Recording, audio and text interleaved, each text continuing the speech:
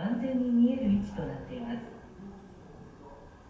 この迎賓室には2枚の肖像画があります。左側は後に昭和天皇となった摂政宮21歳の時のお姿です。摂政宮は当時長子様とご婚約中でした。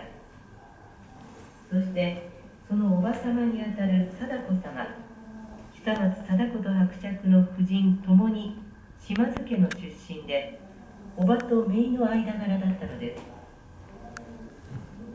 右側の肖像画は昭和天皇古希の時の姿です。昭和天皇は昭和28年の四国国体の際この南水槽にご夫婦でお泊まりになっています。マントルピースの大鏡は部屋を明るく広く見せるためのものです。